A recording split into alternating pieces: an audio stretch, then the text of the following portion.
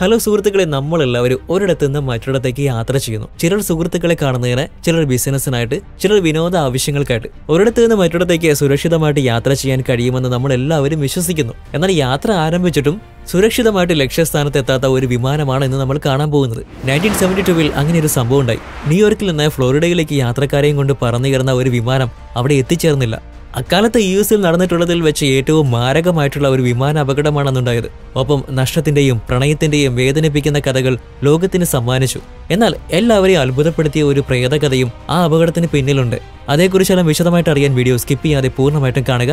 എല്ലാവർക്കും fats express Malayalam ചാനലിലേക്ക് സ്വാഗതം. നിങ്ങൾ ചാനൽ ആദ്യമായിട്ട് കാണുന്ന ആളാണെങ്കിൽ ഞങ്ങളുടെ ഈ ഫാമിലിയുടെ ഭാഗമാകാനും ഇൻട്രസ്റ്റിംഗ് വീഡിയോസ് കാണാനുമായിട്ട് ചാനൽ സബ്സ്ക്രൈബ് ചെയ്യുന്ന കാര്യം പരിഗണിക്കുക.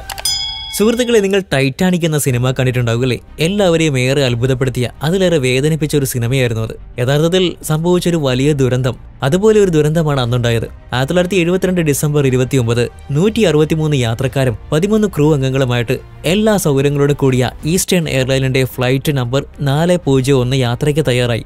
എല്ലാ ക്രൂ അംഗങ്ങളും യാത്രക്കാരെ അവരുടെ സ്ഥലങ്ങളിലേക്ക് ഇരുത്തി അവർക്ക് ആവശ്യമായിട്ടുള്ള അറിയിപ്പുകൾ നൽകി. തുടർന്ന് വിമാനം പറന്നുയരാൻ തുടങ്ങി. അമ്പത്തിയഞ്ചുകാരനായിട്ടുള്ള ക്യാപ്റ്റൻ റോബർട്ട് ആൽബിൻ ലോഫ്റ്റ് ആയിരുന്നു വിമാനത്തിന്റെ ക്യാപ്റ്റൻ. മുപ്പത്തിരണ്ട് വർഷമായിട്ട് എയർലൈനിലുണ്ടായിരുന്ന അദ്ദേഹത്തിന് മുപ്പതിനായിരം മണിക്കൂർ ഫ്ലൈറ്റ് പറപ്പിച്ച അനുഭവ പരിചയമുണ്ട്.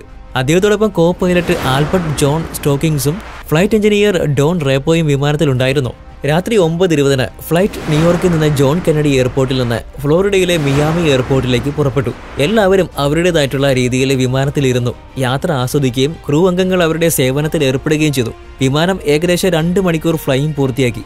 അങ്ങനെ വിമാനം ഫ്ലോറിഡയിലെത്തി.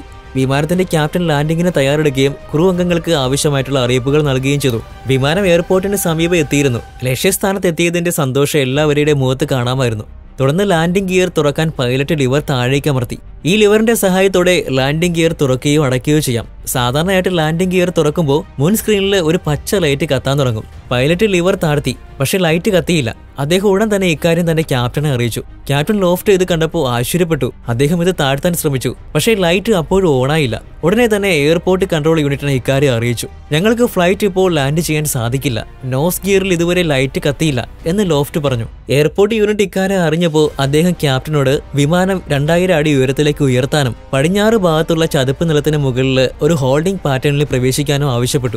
കൺട്രോൾ യൂണിറ്റിന്റെ ഉപദേശപ്രകാരം ഫ്ലൈറ്റിനെ രണ്ടായിരം അടി ഉയരത്തിലെത്തിച്ച് അദ്ദേഹം അതിനെ ഓട്ടോ പൈലറ്റ് മോഡിലാക്കി. വിചിത്രമെന്ന് പറയട്ടെ ലാൻഡിംഗ് ഗിയർ പ്രശ്നവുമായി ആ രാത്രി മിയാമിയെ സമീപിച്ച ഒരേയൊരു വിമാനം ഈസ്റ്റേൺ ഫോർ സീറോ വൺ ആയിരുന്നില്ല. National Airlines flight six zero seven ഇതേ പ്രശ്നം റിപ്പോർട്ട് ചെയ്തിരുന്നു. ഈ രണ്ട് പ്രശ്നങ്ങൾ കൈകാര്യം ചെയ്യാൻ എയർ ട്രാഫിക് കൺട്രോളർ തിരക്കിലായിരുന്നു. ഫ്ലൈറ്റിന്റെ എഞ്ചിനീയർ റെപ്പോ ക്യാബിനിലെത്തിയ ശേഷം ഞാൻ ലൈറ്റുകൾ പരിശോധിക്കണമെന്ന് ചോദിച്ചു. ഇൻഡിക്കേറ്റർ കത്താത്തത് കൊണ്ട് അത് കേടായ ബൾബാണെന്ന് അവർ വിശ്വസിച്ചു. റെപ്പോയോട് അത് ചെക്ക് ചെയ്യാനായിട്ട് ലോഫ്റ്റ് പറഞ്ഞു. അങ്ങനെ എഞ്ചിനീയർ ഇൻഡിക്കേറ്റർ തുറന്ന് പരിശോധിച്ചു. ഇതിനുശേഷം അദ്ദേഹം വിമാനത്തിന്റെ ബട്ടൺ അമർത്തി. ഓരോ ലൈറ്റും ശരിയായിട്ട് പ്രവർത്തിക്കുന്നുണ്ടോ എന്ന് നോക്കി. എന്നാൽ ഇത്തവണയും പച്ച ലൈറ്റ് കത്തിയില്ല. ഇതിനുശേഷം വിമാനത്തിന്റെ ക്യാപ്റ്റൻ എഞ്ചിനീയറോട് വിമാനത്തിന്റെ താഴെയുള്ള ക്യാബിനിലേക്ക് പോയി മുന്നിലുള്ള ലാൻഡിംഗ് ഗിയർ ചെക്ക് ചെയ്യാൻ ആവശ്യപ്പെട്ടു. എഞ്ചിനീയർ ഉടനെ തന്നെ വിമാനത്തിന്റെ താഴെയുള്ള ക്യാബിനിലെത്തി.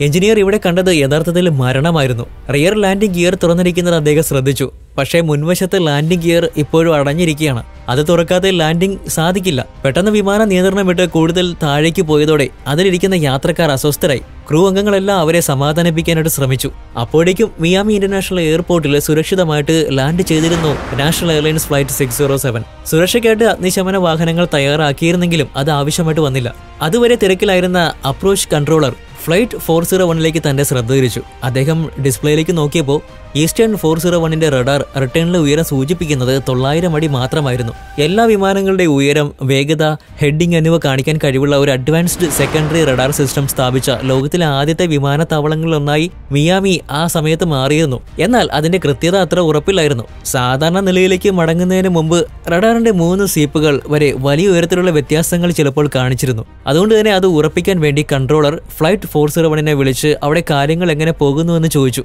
ഏത് നിമിഷവും ഗിയർ പൊസിഷൻ ഉറപ്പിക്കാനാകൂ എന്ന വിശ്വാസത്തിൽ ഞങ്ങൾ തിരിച്ചു വരാൻ പോകുന്നുവെന്ന് ലോഫ്റ്റ് മറുപടി പറഞ്ഞു. ഇത് കേട്ടപ്പോൾ ഡിസ്പ്ലേയിൽ കാണിച്ച ആറ്റിറ്റ്യൂഡ് വ്യത്യാസം ഒരു റഡാർ തകരാർ മാത്രമാണെന്ന് കൺട്രോളർ വിശ്വസിച്ചു. ഈ സമയം കോ പൈലറ്റ് സ്റ്റോക്കിഡ്സിൽ ഓൾട്ടോമീറ്ററിലേക്ക് നോക്കിയപ്പോൾ എന്തോ കുഴപ്പമുണ്ടെന്ന് മനസ്സിലാക്കി. നമ്മൾ ഇപ്പോഴും രണ്ടായിരത്തിലാണ് അല്ലേ? എന്ന് സ്റ്റോക്സ്റ്റിൽ ലോഫ്റ്റിനോട് പറഞ്ഞു. എന്നാൽ അടുത്ത നിമിഷം അവരുടെ ഉയരം അതിവേഗം പൂജ്യത്തിലേക്ക് കുതിക്കുന്നത് ലോഫ്റ്റ് കണ്ടു. ഇവിടെ എന്താണ് സംഭവിക്കുന്നതെന്നറിയാതെ അദ്ദേഹം ആശ്ചര്യപ്പെട്ടു. ഇതിനിടെ അപ്രോച്ച് കൺട്രോളർക്ക് വിമാനവുമായുള്ള കോണ്ടാക്ട് നഷ്ടപ്പെട്ടു. ഇപ്പോൾ നിങ്ങളുടെ ഉയരം എന്താണെന്ന് അദ്ദേഹം ചോദിച്ചു. പക്ഷെ ഉത്തരമില്ലായിരുന്നു. വിമാനം ഏകദേശം ആയിരം അടി ഉയരത്തിലെത്തിയിരുന്നു. വിമാനം എവിടെയെങ്കിലും കൂട്ടിയിടിക്കുമെന്ന് ക്യാപ്റ്റന് മനസ്സിലായി. അതുകൊണ്ട് അദ്ദേഹം വിമാനം നൂറ്റി ഡിഗ്രി തിരിക്കാൻ ശ്രമിച്ചു. എന്നാൽ അദ്ദേഹത്തിന്റെ ഈ ശ്രമം പൂർണമായിട്ട് പരാജയപ്പെട്ടു. വിമാനം നിലത്ത് തട്ടി തകർന്നു. വിമാനം നിലത്ത് പതിക്കുമ്പോൾ അതിന്റെ വേഗത മണിക്കൂറിലെ മുന്നൂറ്റി അമ്പത് കിലോമീറ്റർ ആയിരുന്നു അപ്പോൾ അപകടത്തിന്റെ തീവ്രത എത്രമാത്രമായിരിക്കുമോ നിങ്ങൾക്ക് മനസ്സിലാക്കാവുന്നതേ ഉള്ളൂ വിമാനം പൊട്ടിത്തെറിച്ച നൂറ്റിയൊന്ന് പേർക്ക് ജീവൻ നഷ്ടപ്പെട്ടു. എഴുപത്തഞ്ച് പേരെ രക്ഷപ്പെടുത്തുകയും ചെയ്തു. വിമാനത്താവളത്തിൽ നിന്ന് മുപ്പത് കിലോമീറ്റർ അകലെയാണ് ഫ്ലൈറ്റിന്റെ അവശിഷ്ടങ്ങൾ കണ്ടെത്തിയത്. ഈ അപകടത്തിൽ കോ പൈലറ്റ് സ്റ്റോക്സിൽ മരിച്ചു. എഞ്ചിനീയർ റിപ്പോയെ ഉടൻ തന്നെ ആശുപത്രിയിൽ എത്തിച്ചെങ്കിലും മരണം സംഭവിക്കുകയായിരുന്നു. സംഭവ സ്ഥലത്ത് വെച്ച് തന്നെ ക്യാപ്റ്റൻ ലോഫ്റ്റും മരണപ്പെട്ടു.